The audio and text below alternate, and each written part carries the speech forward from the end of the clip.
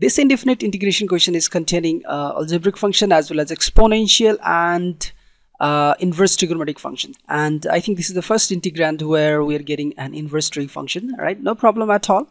Same process same same same methods to solve this question. Again first we need to find out the substitution what we need to substitute so that we can convert this whole this integrand into the new format um, a new new new uh, functions format right? So that can be determined uh, first by taking look on those term which contains the uh, the the independent variable. Uh, here independent variable containing term is 1 plus x squared another is tan inverse x. So uh, now which one we need to choose? Whether 1 plus x squared or tan inverse x uh, as a new function.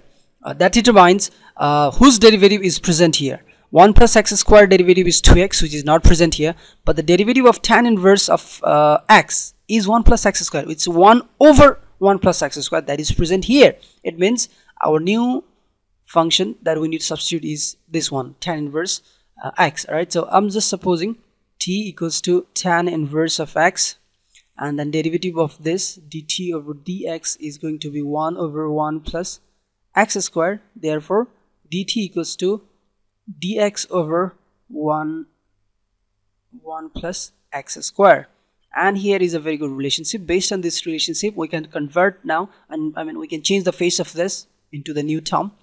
And now e to the power tan inverse of x. So that is e to the power t because tan inverse of x we have supposed as a t. And now dx over 1 plus x squared. dx over 1 plus x squared that is dt all right? It's simply dt. And now very simple integration that is integration of e to the power t that is e to the power t itself and plus some uh, constant. And now let's put the original value of t that is tan inverse of x tan inverse of x plus some constant. And that's our integral that's our solution